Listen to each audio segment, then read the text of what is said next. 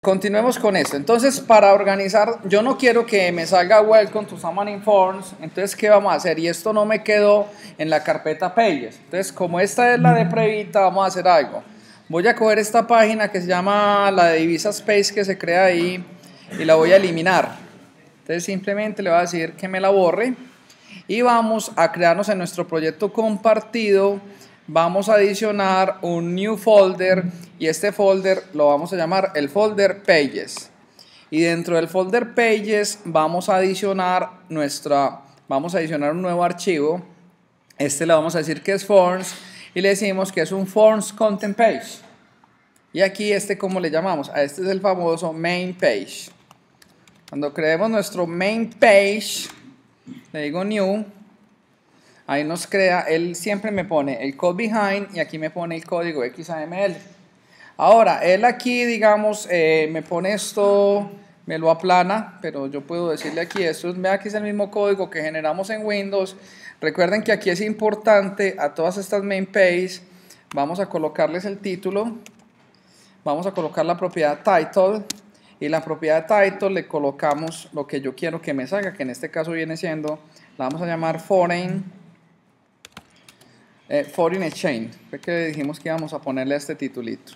Y dentro del content aún todavía no le vamos a poner, no le vamos a poner nada. Ahora, para que él me arranque por acá, ¿qué vamos a hacer? Vamos a ir a nuestro app.cs y en el app.cs vamos a cambiar este que no nos arranque por divisa space, sino que me arranque por un, que nos arranque por una navigation page y dentro de la navigation page vamos que nos arranque por una nueva main page. Ahí lo tenemos, listo. Entonces, hasta el momento que hemos hecho, si lo probamos, pero no lo voy a probar en iOS, que está muy lento el, emulador, voy a probarlo en iOS, ahorita en el, en el break dejo cargando el, dejo cargando el emulador porque tocó cerrarlo o arrancó mal, por eso no era capaz de grabar el video y se estaba demorando mucho grabando el video y cargando el emulador. Entonces probemos a ver qué pasa aquí. Después de que el emulador esté arriba ya, ya funciona pues mucho mejor. Lo que me duele es la primera. Entonces vamos a ver qué pasa aquí. ¿Qué debería salir? Debería salir el título arriba que diga eh, Foreign Exchange y hasta el momento no le hemos puesto nada. Ahí vamos, vea que esa es la interfaz tal cual como la hemos construido. Bueno, ahora recuerden que nosotros queremos implementar el patrón en Vivien. Entonces, para implementar el patrón en Vivien, ¿qué vamos a hacer? Vamos a crearnos una carpeta, adicionamos un folder y este folder la vamos a llamar los View Models y dentro del folder de los View Models vamos a crear el protagonista principal de esta película. Vamos a crear un nuevo archivo, este es código, vamos a crear una clase vacía y esta clase vacía le vamos a llamar main view model. No tiene que llamarse así, puede llamarse de cualquier otra forma. Por estándar, a mí me gusta llamarles main view model. La ponemos aquí new y listo. Ahí nos crea nuestra main view model. Por el momento, dejemos nuestra main view model así vacía. La otra cosa que tenemos que hacer es utilizar el patrón locator para poder hacer una inyección de dependencias y decirle este main view model, yo todo esto lo he hecho, ese main view model eh, a quien, ese main view model, ¿cómo lo vamos a relacionar con la main page? En ese caso, vamos a crear una carpetita llamada la carpeta infrastructure. Entonces aquí en el proyecto compartido voy a adicionar un new folder y este new folder se va a llamar la carpeta infrastructure y dentro de la carpeta infrastructure vamos a crearnos esta clase que es la instant locator que es exactamente lo mismo que hacemos en, en Windows y aquí en la carpeta infrastructure adicionamos un new file y le decimos que vamos a crear nuestra clase instance locator él nos pone eso ahora nuestro instant locator es qué realmente nuestra instant locator es muy sencilla porque lo único que tiene que hacer nuestro instant locator es crear un objeto, crear una propiedad de tipo MainViewModel. Aquí la tenemos. Y esa propiedad de tipo MainViewModel lo que hace es que la instancia. ¿Y para qué hacemos esto? Esto lo hacemos, mis señores, solamente para, podérselo, para poder mandar este valor al diccionario de recursos y estando en el diccionario de recursos se lo podemos asignar a cualquier página. ¿Cómo hacemos eso? Ah, yo sigo aquí los pasos de mi instructivo para no perderme.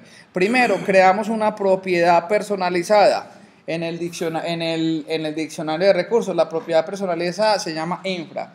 Yo les recomiendo que siempre traten de hacerles aquí porque los sábados en la mañana pega durísimo el sol y les toca venir a estudiar con gafas oscuras.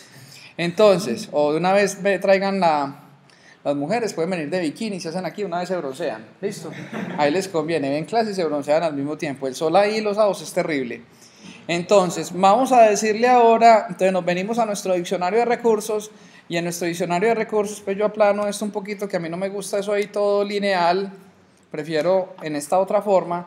Y en el diccionario de recursos vamos a agregar esta propiedad. Aquí un cambiecito. El cambiecito es cuál? Muy sencillo.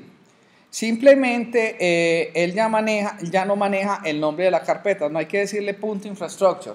O sea, el namespace en Xamarin Studio no maneja los nombres de las carpetas, o sea, que cambia. Entonces, ¿cómo se llama mi proyecto? Mi, el namespace es divisas en VBE1, aquí lo encuentro.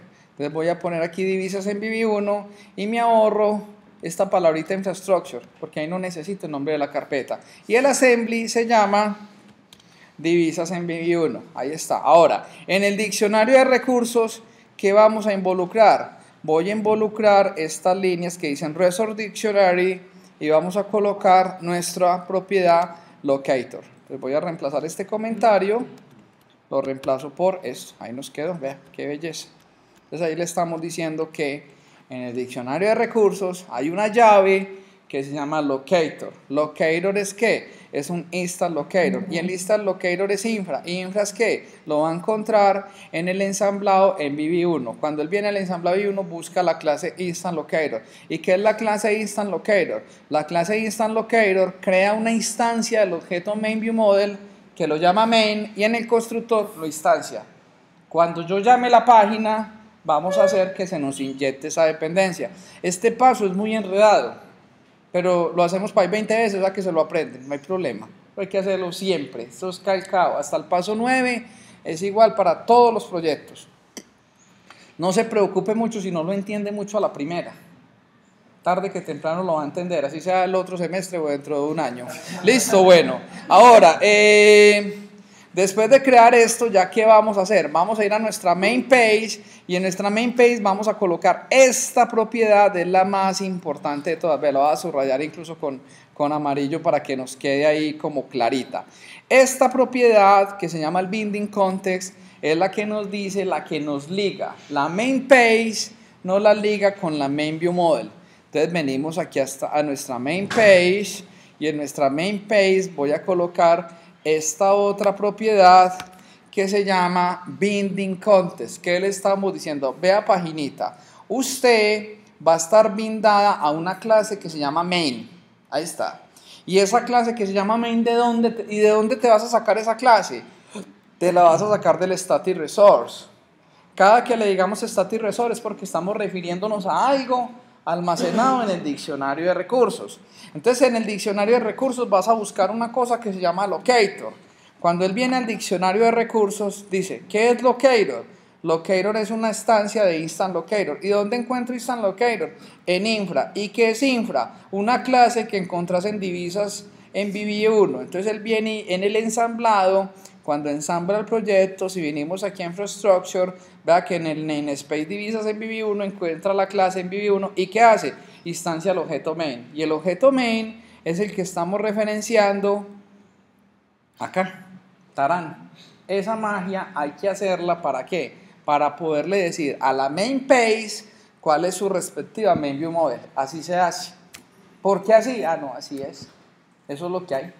Ojalá hubiera una cosa llamada que uno pudiera definir eso como una propiedad y saliera para pintura, pero no. Las cosas a veces no son como uno quiere que sean. Listo, ahí vamos. Si yo corro el proyecto en este momento, pues no lo debía haber dañado, al menos pues no está. Visualmente no hemos hecho nada, pero al menos mi proyecto no lo, no lo debía haber dañado. Él todavía debería compilar, ¿o no? Ahí vamos, listo. Entonces él aquí llega, lo genera, lo instala y lo va a tirar al dispositivo. Vea que ya no se demora tanto. Entonces dice, phone in a chain, no da error. Eso era lo que esperábamos, al menos que no se hubiera dañado el proyecto. Pero yo no quiero esta pantalla.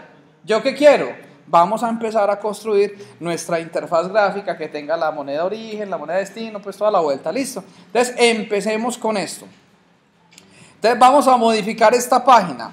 Dentro de la, dentro de la página de contenido vamos a crearnos una cosa que llama un stack layout, que es el que estamos manejando ahora. Entonces yo le digo stack layout. ¿Qué es stack layout? Es una pila donde vamos a poner controles.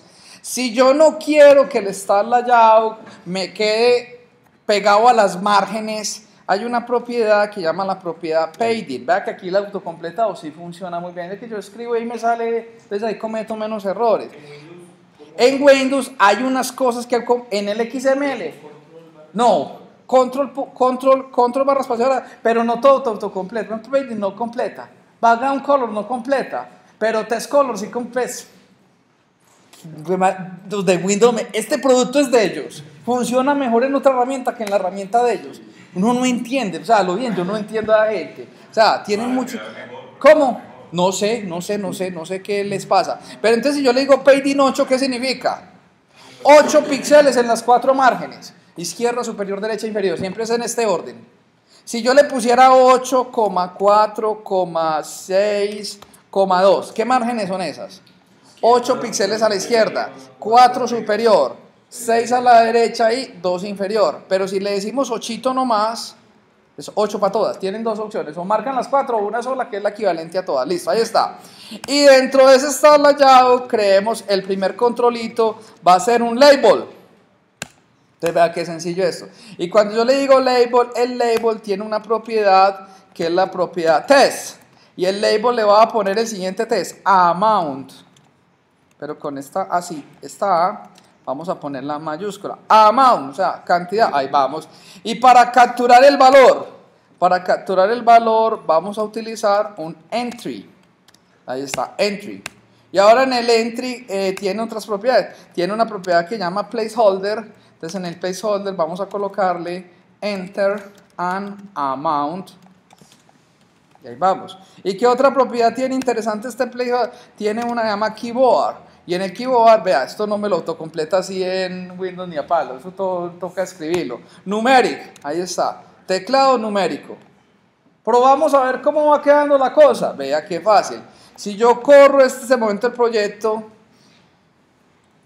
vea cómo va quedando, es fácil construir las interfaces.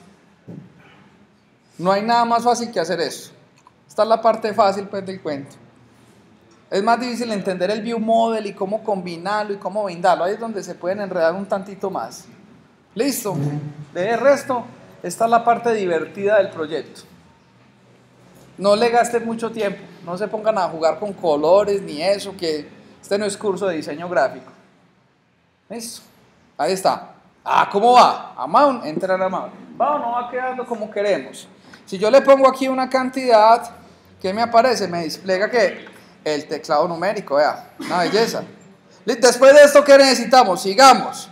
Después necesitamos entonces otro label, pero entonces el siguiente label ya no va a decir amount, sino que el siguiente label le vamos a poner eh, source rate, tasa origen. Source, vamos a llamarle más bien source money. Source currency, más fácil, queda mejor así. Currency source currency, o sea, moneda origen. Y en el source currency necesitamos un controlito para eso. El controlito vamos a llamarlo un picker. Fue madre, ahí está, picker. ¿Y el picker es qué? Un controlito que me va a permitir seleccionar los valores. Ahora, este picker, vamos a, este picker tiene una propiedad parecida al placeholder, pero aquí no se llama, se llama title. Y el title de este picker, vamos a colocarle lo que yo quiero que le salga al usuario. Entonces al usuario le va a decir select a source currency.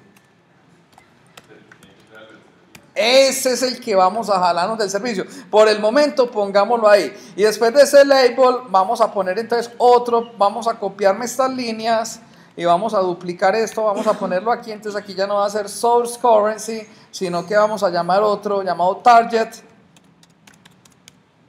target currency y aquí ya no es select a source currency, sino se le da target currency. Y ahí vamos. Después de eso, ¿qué necesitamos? Un botón para convertir, ¿cierto? Entonces vamos a crearnos un button y el botón vamos a ponerle varias propiedades. La primera propiedadcita del botón test. Entonces el botón test va a tener la palabra convert. Ahí está, sí o qué, una belleza. Después del título convert, ¿qué le vamos a poner? Vamos a ponerle un background color y el background color, vea, incluso me pinta los colores como va a quedar. Ah, sí, es que Mac es Mac, ahí está. Entonces vamos a ponerle, ¿cuál es la diferencia entre blue y navy? Y el navy es más oscurito, ahí está. Y después de navy vamos a colocarle otra que se llama el test color y el test color vamos a ponerle white. Ahí está. Ahora, eh, Tarancito, ¿qué nos quedó faltando? A este otro también hay una propiedad que se llama Hey Request. Voy a ponerle un alto al botón de 40. Y hay otra propiedad que se llama Border Radius. Y el Border Radius vamos a ponerla de 20. Ahí está. Sí, que voy armando. Ahora, pregunta. Cuando yo entre ahí, tengo que cargar las tasas y me las tengo que consultar de un servicio en internet, ese que vimos de ese API. ¿Eso llegará así de una o eso se demorará un ratico?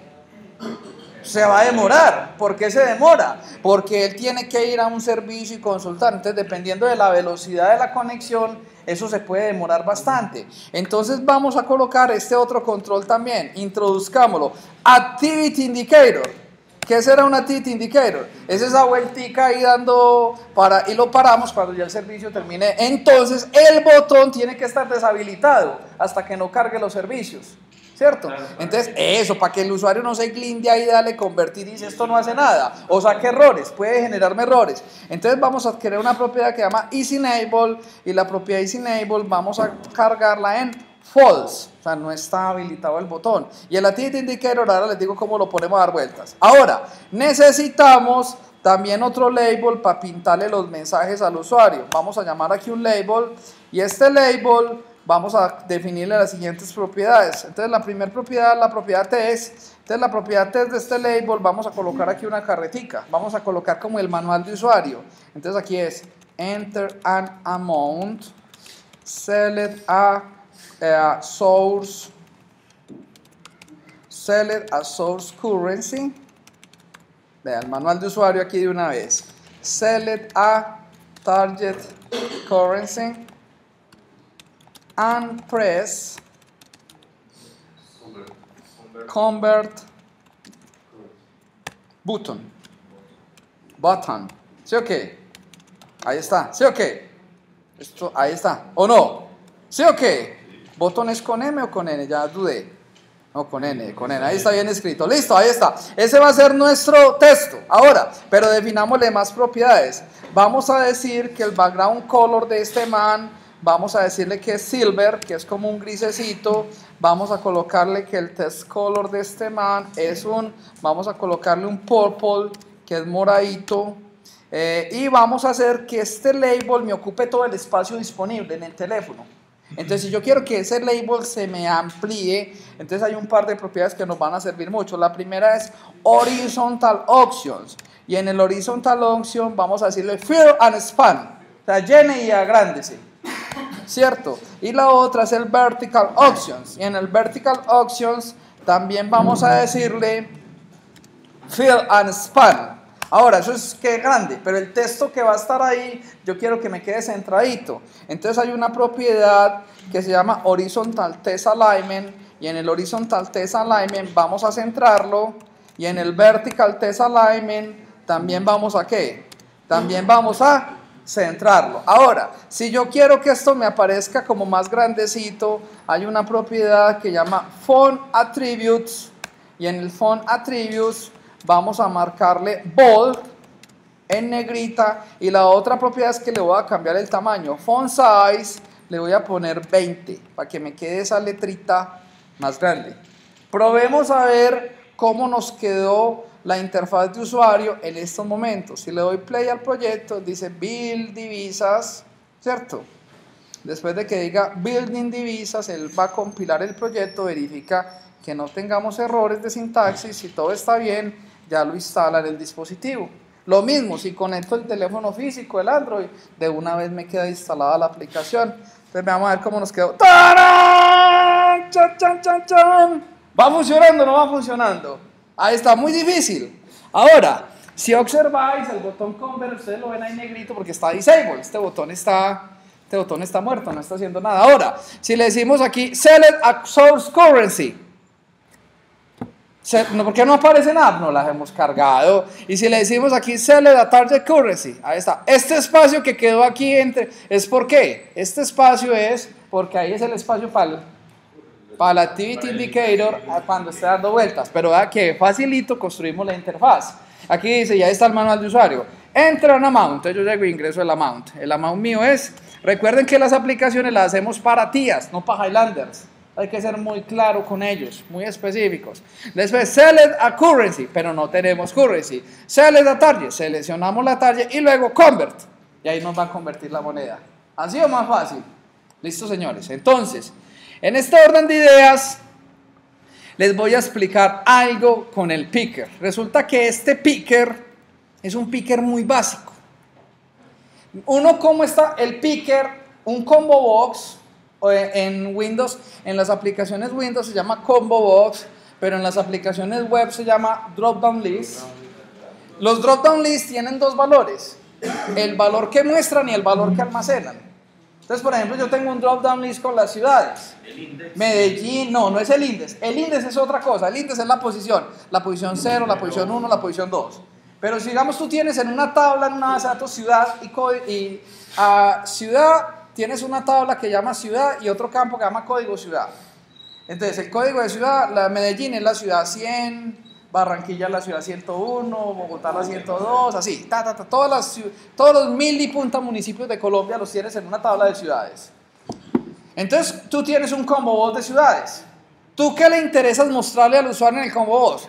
Medellín, Bogotá, pero cuando él almacena a uno le interesa el código de la ciudad por dentro. Entonces un combo voz tiene como esa dualidad. Tiene, muestra el valor, ¿sí? Pero por dentro almacena el código. Entonces resulta que eso no sucede aquí. Resulta que los combo, el picker es un picker muy sencillo. Solamente me almacena la lista de los nombres. Vamos a solucionar eso. Pero antes de solucionar eso, me estoy adelantando porque me quedé, no seguí el instructivo y me comí unos pasitos, pero igual no hay nada grave, vamos a arreglarlo. ¿Cómo vamos a consumir este servicio? Recuerde que el objetivo mío es consumirme esto. Entonces, como yo le voy a preguntar esto, él me va a devolver esto en un string, un stringzote con todo eso. Y eso en un string no lo maneja nadie. Entonces vamos a convertir esto a una clase para poderla manipular. Entonces me toca construir una clase que tenga las 172 propiedades, empiece a escribir propiedades, CSS, es una clase que tenga... Entonces, ¿cuánto nos demoramos escribiendo eso? Un viajado, ¿cierto? Entonces, aprendas en este truco que me lo enseñó David Copperfield. Vamos a copiarnos todo esto, control C, y vamos a entrarnos a esta página. Ustedes imagínense en esto para qué sirve. JSON to C char. ¿Para qué creen que sirva JSON to C char? Eso, eso. Entonces dice generate JSON. Entonces el JSON to C char me va a generar la clase. Entonces si yo la pego acá y le digo generate, ¡tarán! me genera las clases, ahí está. Entonces tengo la clase rates y tengo, entonces el que tiene este JSON tiene una clase, y yo no sé cómo la va a llamar, por eso le llama root object, el, el objeto raíz. ¿Qué propiedades tiene? Disclaimer, license, time start, base. Y dentro de eso hay un objeto de la clase rates que se llama rates. ¿Y cuál es la clase rates? Esta es la clase rates, la que me ahorro toda esta copiadota tan berraca. Entonces, ¿qué vamos a hacer? vamos a crearnos en el proyecto compartido, en el proyecto compartido, mis señores, va para ser ordenados, porque la idea no es ir tirando clases ahí revueltas. El orden no es opcional, el orden es obligatorio. Los proyectos de ustedes les, les exijo que tengan este orden de carpetas. Pages, New Model, clases, o sea, aprendan a ser ordenados.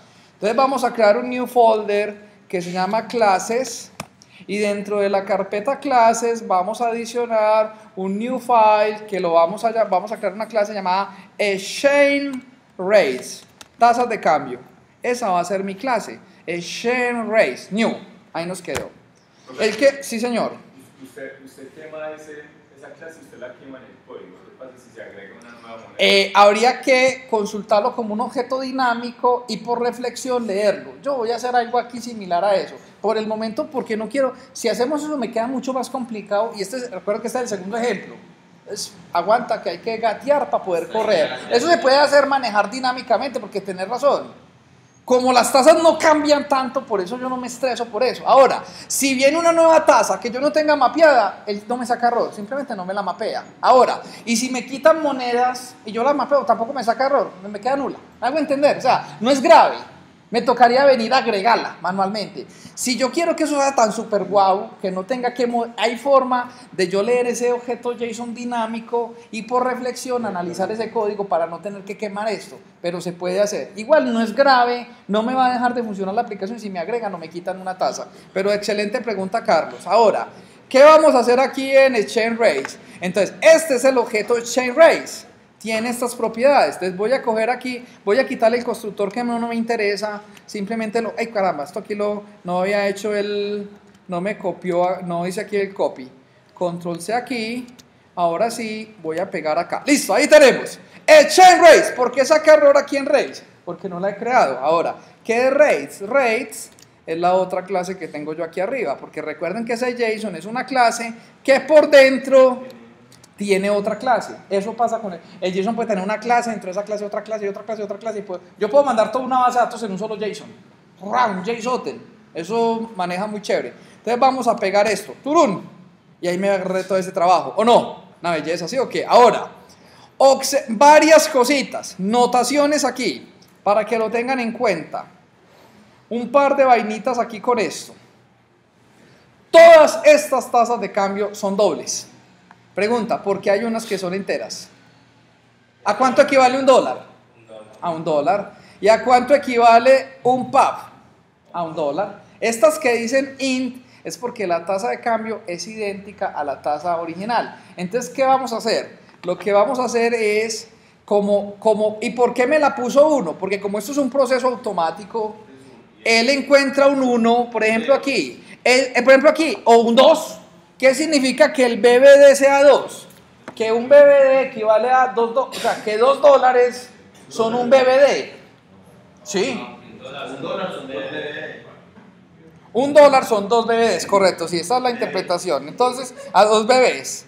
Entonces lo que vamos a hacer aquí es, listo, gracias. Entonces, lo que, entonces, como él devuelve 2, él cree que es una propiedad entera.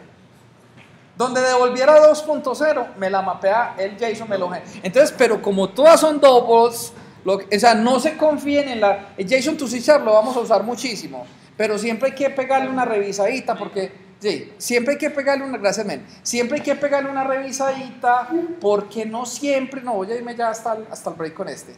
Entonces, no siempre él va a utilizar eso. Entonces, ¿qué hacemos? Fácil, Simplemente en esta clase, para evitar la fatiga, vamos a decirle aquí en el, en el Sears, vamos a decirle que me reemplace, reempláceme todo lo que encuentre entero, me lo vas a reemplazar por double. Y le digo aquí all, y listo. Ay, epa, no found. Ah, bueno, porque ya lo encontró, ok. Eso es de una vez, eso funciona muy rápido. Listo, ya quedaron todas dobles. incluso me tira hasta arriba, esta sí sigue siendo entera. Realicemos esta, listo. Este time stand. Ahora, segunda anotación. ¿Por qué esta propiedad le puso arroba al principio? ¿Por qué a la propiedad base le puso arroba base? Porque es una palabra reservada. Base es reservada. ¿Cómo le mato yo la reservalidad a una palabra? Poniéndole la arroba. Usted sabe que usted puede crear una variable tipo llamada for o while. Si usted le pone while solo, le saca error de sintaxis, porque cree que es palabra reservada. Pero si usted le pone arroba while, ya es, eso es. Eso no lo usa uno, pero se puede usar. Por eso él me le puso base. Ahora, pero ustedes, ¿qué sienten cuando ven esta propiedad? Ojo, es una propiedad. Con, empieza con letra minúscula. ¿Eso es correcto? Eso es incorrecto. Eso compila. Pero eso desde el punto de vista del estándar, eso es un cachetadón. Yo, yo a me da carranchil cuando veo una propiedad Cuando veo una propiedad con minúscula, ahí mismo, ¡pum! Me siento, me siento raro. O sea, eso no debe ser. Entonces debemos de colocarle un alias a eso. Hay que manejar los estándares. Entonces, ¿qué hay que hacer? Hay que, como, si yo la trato como disclaimer, o sea, ¿qué pasa si yo le pongo aquí D mayúscula? Estoy cumpliendo el estándar, pero ¿qué pasa con la deserializada? No me va a deserializar, porque él la va a encontrar con D mayúscula y aquí la tengo D minúscula. O sea que yo no le puedo cambiar esto así como así. Para cambiar eso así como así, nos toca crear, yo pasteleo que aquí se me olvida cómo es que es la cosita con eso, nos toca colocarle una propiedad, nos toca colocarle un alias a este campo. Para hay que colocarle JSON property. Pero para poner el JSON property hay que agregar un nugget. De hecho, hay que agregar un nuggets que no he agregado. Como vamos a consumir un servicio, ¿qué nuggets tenemos que agregar? Estos que tengo aquí. Entonces empecemos a agregar estos nuggets para poder hacer la vueltica. Entonces, aquí en el proyecto compartido, donde dice packages, vamos a decirle add package y la interfaz es muy parecida. Este es el manage new package de Visual Studio. Entonces, en el manage new package, ¿qué controles vamos a agregar? Empecemos. Microsoft BSL Bill es este. Entonces le decimos aquí Add Package. Listo, va uno. Eh, aquí aceptamos licencia. El otro paquete, Add Package. El otro que tenemos que agregar se llama Microsoft BCL. Véalo, es este. Microsoft BCL Components. Aquí lo tenemos, Add Package. El otro que tenemos que agregar, Add Package.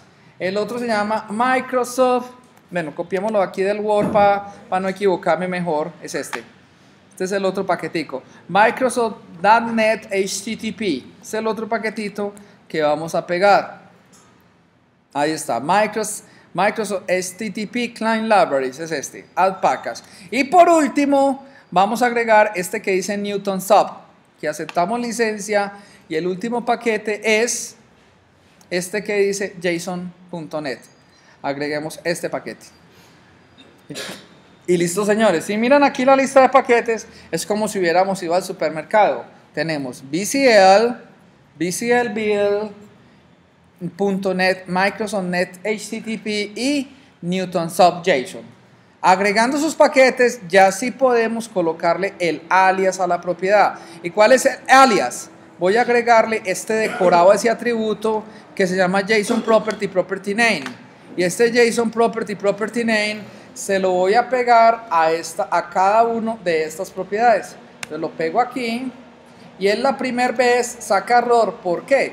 Porque hay que importar qué. Hay que decirle, hay que decirle que qué, que nos arregle, que nos importe el Newton Soft. Cuando le decimos Newton Soft, ve que ya lo reconoce como clase. Estas propiedades deben estar separadas según el estándar y ahora sí, voy a copiarme esta línea, se la voy a pegar acá, se la voy a pegar acá, se la voy a pegar acá y se la voy a pegar acá. Ahora, vamos a decirle, esta propiedad la vamos a llamar license, esta otra propiedad le vamos a llamar timestamp, esta otra propiedad la vamos a llamar base, y esta otra propiedad la vamos a llamar rates. Sí, pero coño, le estás llamando igual, sí temporalmente. Ahora sí, esta propiedad se llama disclaimer. Entonces, ¿cómo la recibo? Con D minúscula y ¿cómo la trato? Con D mayúscula. Es más, yo la podría recibir como disclaimer y la, y la trato en mi programa como chunchurria. Y funciona. Es colocarle un alias para yo no... Si yo la voy a mapear exacto como viene, no necesito el JSON property. Pero si deseo cambiarle el nombre internamente, le puedo colocar el JSON property para, él ya me sabe cómo hacer el mapping entre los atributos. Ahora, entonces esta la llamamos license con L mayúscula, a esta la llamamos timestamp con T mayúscula y esta, esta ya la podemos llamar base con B mayúscula y le puedo quitar la arroba. ¿Por qué? Base con B minúscula es palabra reservada. Base con B mayúscula ya no es palabra reservada del lenguaje. Y lo mismo rates. Esta propiedad la llamo race. Pregunta, ¿se puede llamar la clase race y el objeto rates? Sí, no hay problema. No se usa mucho por cuestiones de claridad, pero se puede hacer perfectamente. Ahora, tenemos la otra clase aquí, que es la clase race, que es la que tiene todas estas tasas de cambio. Esta sí menos mal empieza con mayúscula si no me tocaba hacerle el JSON property a cada una de ellas. Estas las voy a mapear iguales. Ahora, los JSON son muy dinámicos. Carlos, el día que no exista esta propiedad, él no falla. Él sigue derecho. O sea, no la mapea simplemente. Y si hay más, las ignora. Sea, JSON es lo más, lo más dinámico de esta vida. Lo más fácil para integrar sistemas es un JSON. Ahora, pero vamos a hacer algo. Como esta clase, esta race es una clase que tiene 172 propiedades, esta clase va a ser muy aburridora para manejarla. Vamos a aplanar esa clase y eso sí lo hacemos por reflexión. Por reflexión vamos a recorrer ese objeto y vamos a convertir ese objeto de 172 propiedades que no sea un solo objeto, sino que sea una lista de un objeto más pequeño y las listas sí las podemos recorrer con un for porque yo esto no lo puedo recorrer con un for each. Para poder recorrer eso con un for entonces ¿qué vamos a hacer? Vamos a crearnos esta otra clasecita. Aquí la tengo preparadita, que vamos a crear la clase rate. Y la clase rate va a tener dos atributos nomás. Va a tener el atributo task rate, que es el valor de la tasa de cambio, y el valor code. ¿Qué vamos a hacer? Cada propiedad de estas la vamos a convertir en un objeto de estos. ¿Cómo se hace? Eso es una magia. hay que meterle reflexión para hacer eso, porque vamos a recorrer un objeto dinámicamente en memoria para poder hacer eso. Pero déjenmelo ahí, no se me asusten que enseguida lo hacemos. Ahí vamos. ¿Listo? Son las 7.55. A las 8 y cuarto exacto, volvemos a, continuamos. ¿Listo? Entonces, paremos aquí, enseguida continuamos. Muchas gracias.